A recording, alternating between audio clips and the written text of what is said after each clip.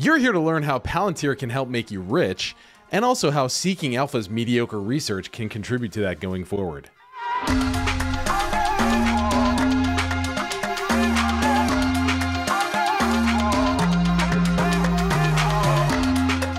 So, if you've been in stocks for anything more than a few months, you're probably already aware of the fact that the media and different investing websites and stuff typically aren't always pure hearted in their motivation for sharing certain types of information or wording certain things in a certain way. Recently, I made a video, click up here if you want to check it out, where I talked about the whole silver thing that appeared all of a sudden um, during the GameStop drama kind of a couple months ago. Basically, everybody was buying GameStop and Citadel and a bunch of these big hedge funds were getting screwed. And all of a sudden, everywhere you looked, it was like, silver is amazing. It's the best investment ever. You should get silver.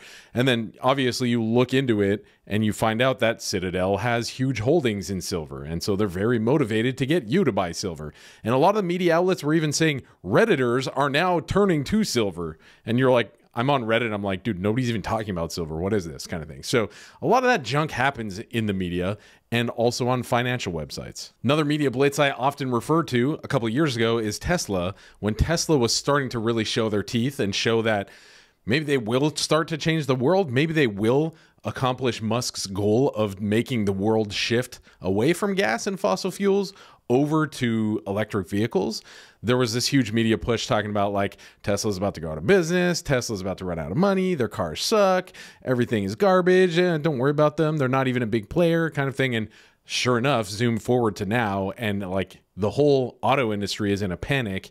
They're in a tizzy, actually, to try and get electric cars out on the road as fast as possible.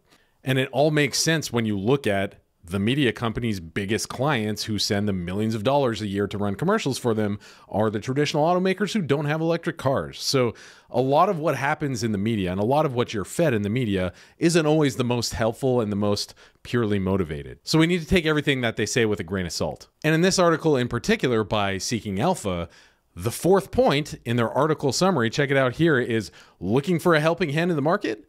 Members of Best Short Ideas get exclusive ideas and guidance to navigate any climate. So it's like they're a business. They're trying to get your money, they're trying to get your clicks. That's why clickbait is a thing. So in this Seeking Alpha article, the title of it, they're basically declaring nothing is valuable about Palantir. There's nothing attractive about this stock. There are zero good benefits to this stock, basically, is what it's saying. I mean, there's clickbait and then there's just outright blatant lies. That's kind of like saying pizza potatoes aren't super mouth-wateringly delicious. It's like, what are you thinking? That like who thinks that? So I wanted to take a minute and address uh, these complaints that they brought up in the article and share some of the facts that reboot, rebut, rebuttal, re, what's the word? Re, rebut, rebut. I, I don't know. So I wanted to take a look at the article and look at some of the complaints they brought against Palantir and share some of the facts that refute those. Just for clarity first, though, I own Palantir stocks. I like the stock. I'm in it for the long term, but it is certainly not the easiest stock to give a fair value to. Nobody knows how to do that.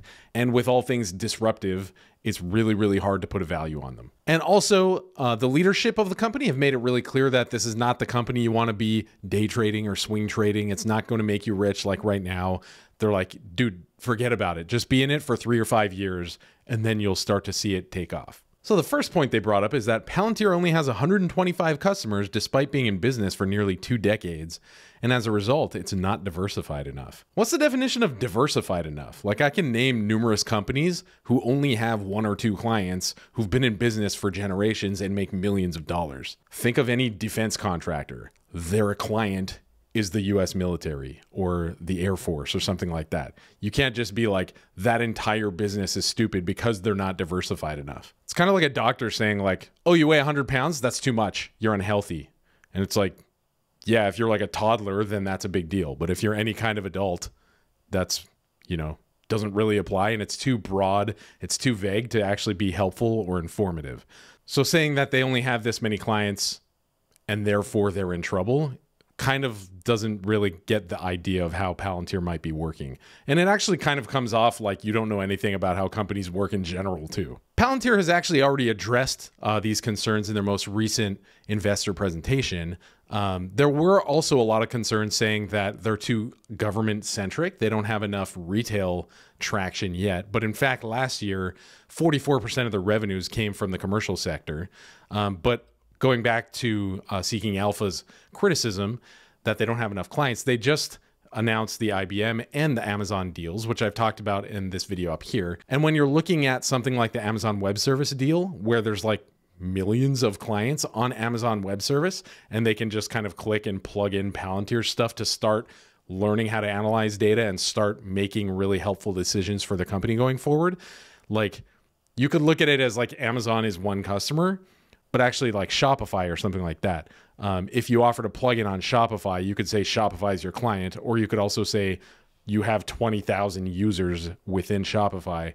Um, I think we're going to start to see these numbers scaling up very much into the future. And that brings us to the next criticism. It says, due to its narrow product market fit, it will be hard for Palantir to scale its business. I completely disagree. And they've shown really clearly already that they work in various different arenas, various different industries. And the Amazon argument I was just talking about is proof that it's not just like we only work in this type of market. I think that shows that the author doesn't really know that much about Palantir. Here's a shot from the investor presentation talking about in 2020, we helped 100 commercial organizations and 10 national governments respond to COVID 19. And they show kind of like a big respond to COVID 19 type of overlay for like a pretty slide kind of thing. But the way you work with every single company is going to be very different depending on their size, their complexity, which country they're in, and all these different kinds of things. So just saying, Palantir only works with one type of company, or Palantir has a very specific market fit, um, I feel like is a little bit naive. Um, they've also mentioned that they work with metal producers, power and energy companies, as well as health insurance and networks. Those are all very different types of companies. It is true that Palantir isn't always like ultra super blindingly fast quick to be able to provide huge value for all of their clients. But I think the reason the US military and so many different governments around the world continue to work with them and re sign their contracts with them proves that Palantir is not only trustworthy, but they can get the job done and they can do it really well and provide really deep insights. Here's another slide where they talk about how they expanded work with a Fortune 200 company and enabled a key transformation of their order fulfillment system in under two weeks. And that shows that they can provide value really, really quickly um, but it also shows that scaling isn't actually that insane for them. Getting a big project off off its feet in two weeks shows some that's some good signs you know what i mean moving on they mention despite the recent growth we see several risks that will prevent palantir from growing further that's is the author really saying palantir can no longer grow or does he just not understand the difference between a company growing and a stock price growing like he's just conflating these two straight up. And if you were like a beginner investor or not like awesome at reading or whatever, you might just look at this and be like, oh man, Palantir's not going to grow anymore. But again, this shows that the author doesn't really know what he's talking about.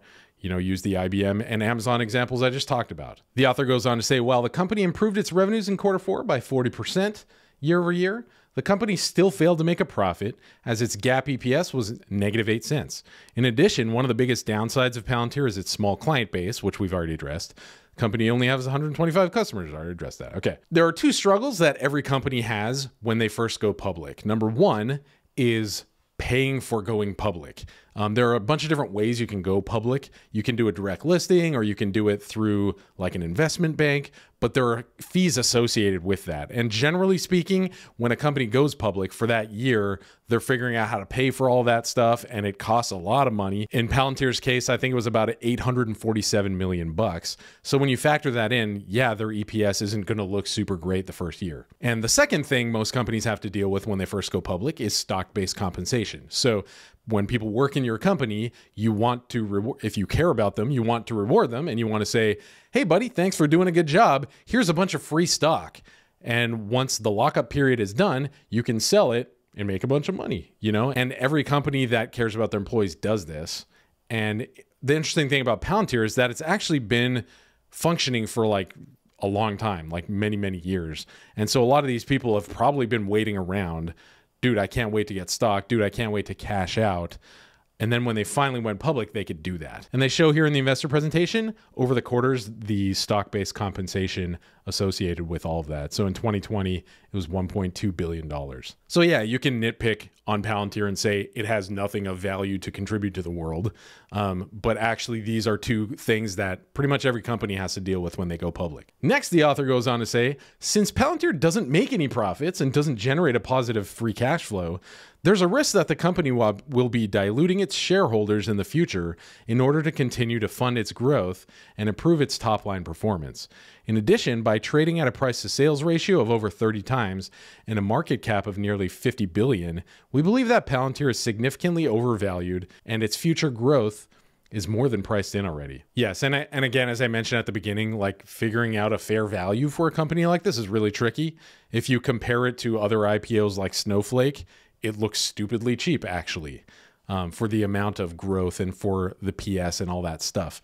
Yeah, you can also take a look at the free cash flow and say, oh my gosh, this is a red alert.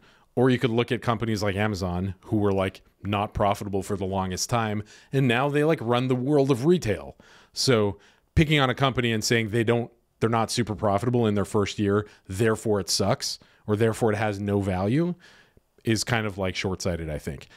And again, Palantir leadership is always saying, please invest for the long term, guys. That leads me into the next complaint that they make. On top of that, less than a month ago, Palantir executives began to unwind their positions in the company after the lockup period expired. Considering all of those events, it's hard to justify a long position in Palantir since its management doesn't inspire confidence regarding the company's long term future. It is true that I think a lot of the management like really like money. Um, but let's take a look at the actual holdings of the management. Um, when there's insider trading, when somebody who is high up in the company or owns a large portion of the company, um, if they're buying or selling, they need to file that with the SEC, which becomes public information. And so we can check it out on the internet. Check it out here. We have Alex Karp, everybody's favorite mad scientist down there at the bottom. It shows that he still has, second column from the right, more than 6 million shares. Yeah, he traded 1.2 something million shares, but he still has a large percentage of them. Same goes for a lot of the other directors on here. Uh, it shows Peter Thiel here getting 20 million shares and having it no more shares actually on that chart, which is cause for alarm. But one of the one of the tricky things when you're looking at these listings is that there are direct and there are also indirect transactions going on. And so direct would be like this is the company giving it to me indirect is like this is the company giving it to my fund or um, some kind of organization that I'm connected with. And Peter, and in Peter Thiel's case, he has three investment groups that he is involved with running, um, and he's already a multi-billionaire. Um, it seems from what we see in the media recently that he's still quite on board and still quite in love with Palantir. Uh, what do you guys think about this? Is, does this feel like a red alert or something like that? Going back to their argument, it's not like all of the management of the company just sold out of everything and bounced. Um, and I think it's fair for a lot of these people, they've probably been working at Palantir for 10 plus years. I think it's fair for them to cash out and, and take some of that change, especially while they still have a big portion of their um, stock on hand. Finally, another complaint that they brought in the article was on top of that, one of the biggest investors in Palantir is ARK Innovation, which in the future could have problems with liquidity due to its large positions in illiquid stocks. As a result, ARK might be forced to sell stocks like Palantir in order to keep afloat, which in the end will bring Palantir lower from the current levels. So ARK really hasn't had any issues with liquidity. I know there were like murmurings around on the internet, especially a couple of weeks ago when stock prices dipped, because most of the stuff that ARK's invested in is very like revolutionary, very disruptive, and therefore mostly quite tech heavy too which sold off the hardest. So people were like, oh my gosh, ARK's going to be in trouble. ARK's going to get screwed when everybody pulls their money out. But actually, what ended up happening is that Cathie Wood addressed this in her program In the Know uh, a couple weeks ago. She said, first of all, the traditional ways of valuing stocks are going to become less and less relevant. So if you have algorithms that are doing your buying and selling and you plug in the PE ratio and you plug in all these different factors and then it just buys and sells stuff for you, those aren't going to work with companies like this. And Tesla is an example of that, how Tesla's stock price has gone crazy despite you know, a very different price to sales ratio than most other automakers. And we're also seeing Tesla continue to power forward, building different factories in Germany and Texas and I think India coming up and stuff like that. They're going to be continuing their growth and continuing innovation and continuing the world's change to EVs. And then secondarily, Cathie Wood in that address said, um, we might have to sell out of our lower conviction stocks during a massive dip. And I think they did cut their positions in a few of their stocks. But she said what we do when stock when prices are down is that we buy in more heavily to our higher conviction stocks. And so this author is saying they might sell out of Palantir, but actually what ended up happening is that ARK across their various funds ended up grabbing more than 6 million shares of Palantir. That's like some pretty high conviction. So taking a step back, um, this article isn't very well researched or very well written is there some motivation for them to get the stock price lower to get people out of Palantir? Do they want to pick it up for cheaper? We've seen cases like that before. Um, what do you guys think? Let me know down in the comment section. Also, let me know if you're interested in Palantir, if you're uncomfortable with Palantir, if you're in it for the long haul. I'm in it for the long haul. I love it, and I'm excited to see how it's going to be changing the world. Thank you guys very much for your time. Love you, and talk to you soon.